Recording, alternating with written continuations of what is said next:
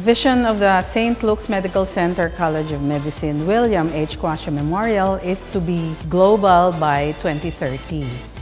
And the mission is to graduate healthcare professionals who are clinically competent and ethical, academic and research-oriented, collaborative and patient-centered, socially engaged, and compassionate.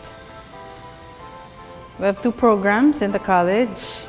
One is the undergraduate Doctor of Medicine program and the Masters of Science in Molecular Medicine. St. Luke's is my first choice of medical school um, because during the open house that I attended, I was able to see this family-like culture. St. Luke's College of Medicine was pretty young at that time. However, the center was well known for its excellence, and we were expecting the same type of excellence as regards to the college. Working as a nurse before entering the college, I've seen how St. Luke's is really geared towards excellence in the medical practice and in healthcare. I entered St. Luke's College of Medicine because I was attracted with the newness of the um, college and being new, I thought um, the administration will take care of us more and I was right with that decision. Selection criteria for the undergraduate Doctor of Medicine program is an NMAT score of 90, a four-year bachelor's degree. While for the Master of Science in Molecular Medicine, it's preferred that the student has taken the NMAT and has finished a four-year Bachelor's of Science program. The local community is very intimate. There are many uh, people from different walks of life, different beliefs, and with different ambitions, and we're all very diverse. But the most important thing is that everyone's got everyone else's back. The Lucan brand is holistic. When I was in first year, I was given an opportunity to participate in a college pageant. It's an annual event where we get to showcase our talents, proving that we are both beauty and brains. We do have a population of 555 students across all levels, 25% of whom are scholars. I think I learned from the Foundations of Medicine class the most because it felt like every Friday, even though I was a first year, I was able to tackle things that I would normally only see in the hospital. And so it really helped boost my confidence. As early as second year, we have already been exposed to patients. It's been a wonderful experience listening to their stories and interacting with them. It makes us feel closer to the people we want to serve the most. The college offers unique and innovative courses such as basic science and clinical research and clinical integration which hones us not just as clinicians, but as physician scientists.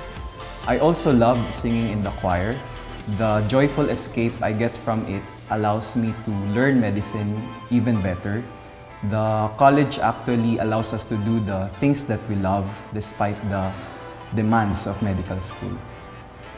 The activity that I enjoy the most is patient endorsement. It's about an hour activity where we endorse to our seniors the patients assigned to us and how they were throughout the day. As a junior intern, I was fortunate enough to observe the consultants, how they interact with the patient, how they care for the patient, how they form these professional relationships with them. And eventually, after my five-year stay here in the college, I will be able to imbibe these practices into my future practice as a professional. We have a different learning approach here. We are given ample time to prepare for our exams, that by internship, we are exposed to a variety of cases in St. Luke's Medical Center. We act as mini residents, we get to see admitted patients, assist in ORs with the best surgeons in the country, and manage social service cases with the guidance of a more senior resident and or a consultant. My education in St. Luke's College of Medicine exposed me to multidisciplinary management and that solidified my plan to further pursue subspecialty, which is now pediatric pulmonology. The experience in St. Luke's really helped me a lot with my work in the field. Um, it made me become an independent thinker. It made me think outside the box and also the most important thing is it made me a resilient person which helped me a lot during my humanitarian work in the different uh, nations in the world. My relationship now with the college is doing great. I'm an active professor teaching pathology. I remind my students not to take medical school too seriously and at the same time to enjoy their other passions outside medical school. I think what a lot of people don't see is just how driven Lucans are with regards to their extracurricular. The average Lucan is usually ending their day in practice or doing their art or dancing or singing and there's a lot that we do. And so I feel that the Lucan brand is having a passion to do and pursue what you love and a drive to become the best person that you can be. I have always thought of the Lucan doctor as someone who is humbly confident but teachable. We can learn always from our colleagues and of course our patients. For me, one word to describe the Lucan brand is flexibility because here, even though we have a good foundation, still we try to stay up to date. Here at St. Luke's Medical Center College of Medicine, we're not just a community. We are a family. I'm Dr. Susan Pelea Nagtalon, Dean of the College of Medicine.